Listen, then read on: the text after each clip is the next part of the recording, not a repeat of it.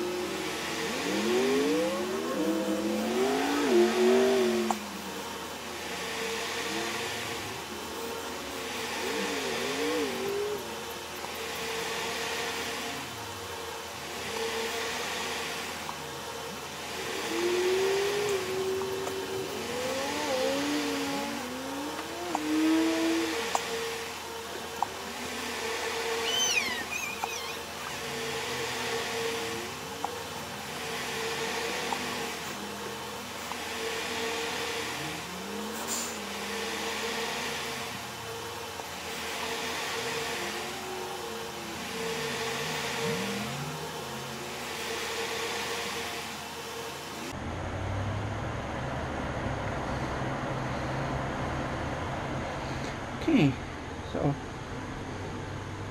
that's that. Minor touch-ups I'm gonna have to be done, but eyes, good.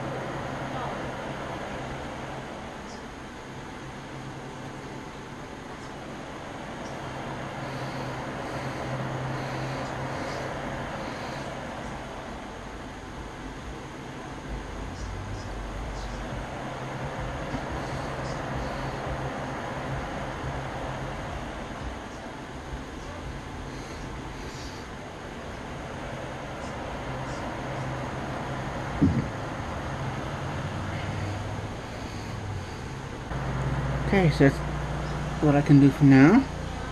I have to do this later because I need to be able to grip this, so I have to wait for the paint to dry.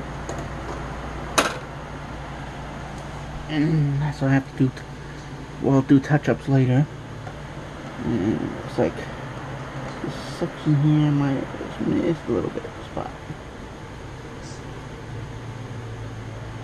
But that's okay, because that's what touch-ups are for.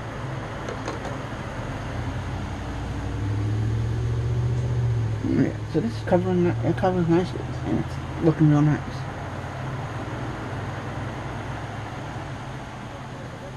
So when that's, when the pieces are dry, I'll go through and do touch up with where I need to with the white.